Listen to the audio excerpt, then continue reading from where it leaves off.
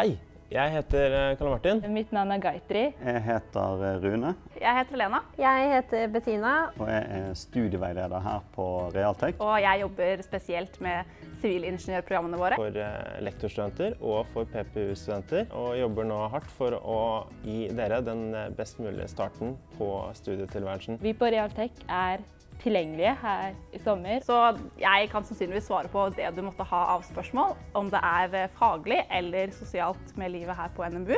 Vi gleder oss masse til å ta dere imot. Og til slutt vil jeg bare si Velkommen til Realtek.